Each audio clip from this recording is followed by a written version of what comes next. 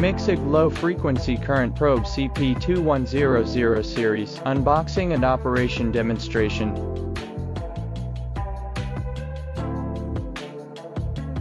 Connect the current probe to the USB port of the oscilloscope for power supply. Connect the probe to the universal BNC port of the oscilloscope, pressing the 10A, 100 button to switch different ranges. Press 0 button for auto 0 adjustment, and the triangle button button for manual 0 adjustment. Connect the probe to the signal, adjust the oscilloscope, and observe.